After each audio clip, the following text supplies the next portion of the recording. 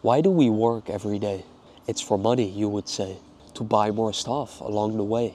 We're all caught in this money game, working jobs that bring no flame. We trade our lives for fancy things cars, big houses, diamond rings. But our souls are empty, our minds are a mess, caught up in all this money stress. Don't let the world decide your fate. Wake up before it is too late, before you reach that heaven's gate. Cause being rich in the will be the result of a wage. Slavery was never abolished, it was only extended to include all colors. It's a quote from Charles Bukowski. Should you avoid getting a job? Or are you trapped in wage slavery if you have one? Before we dive into it, I do not want to convince you to quit your job.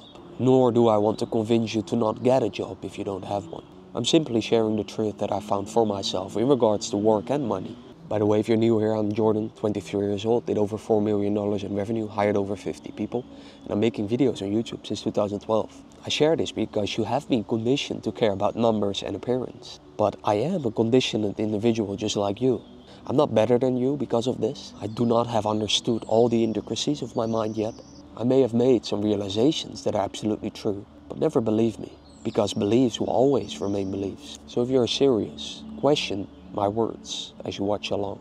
So, why do you have a job? I can't answer this for you. So, why do most people have a job? It's money, right? So, let's talk about that money.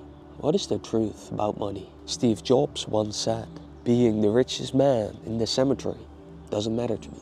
And my question to you are you occupied with money? Occupied with the idea of money?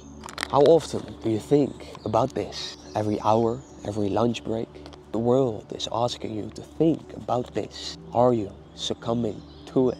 If you are, why are you occupied with this idea of money? Anything about it, you should get more of it, whatever it may be. Just thinking about money. Why are you occupied with it? Are you poor? Is that the thing?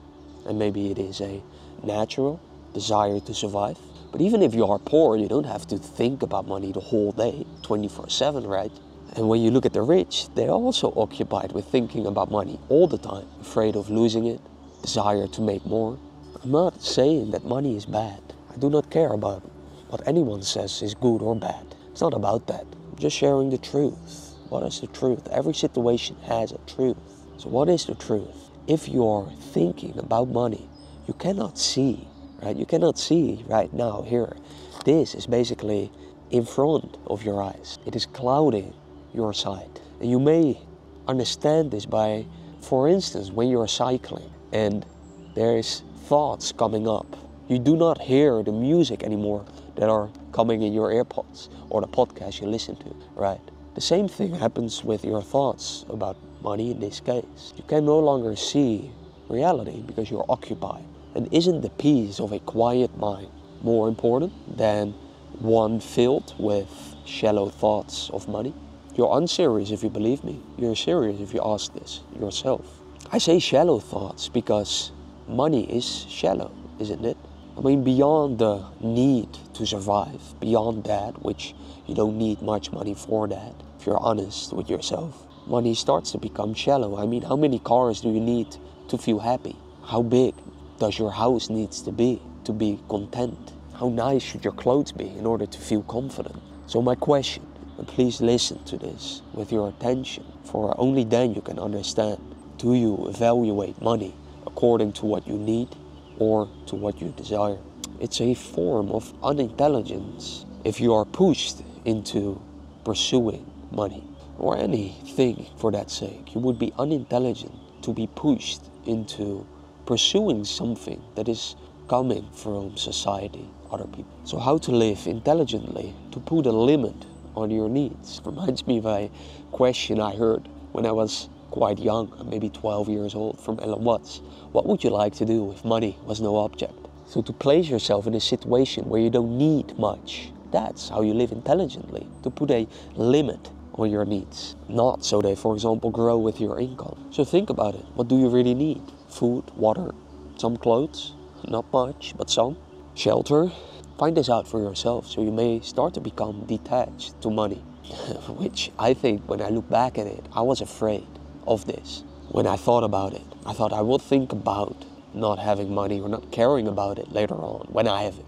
And that only led to waste of time. So if you feel maybe the same fear that I felt back then, you may start to see that that fear is telling you at least something. But but what about the future, you may say? Where do you see yourself in 3 to 5 years? Popular question of employers. I also ask this all the time to employees that I want to hire.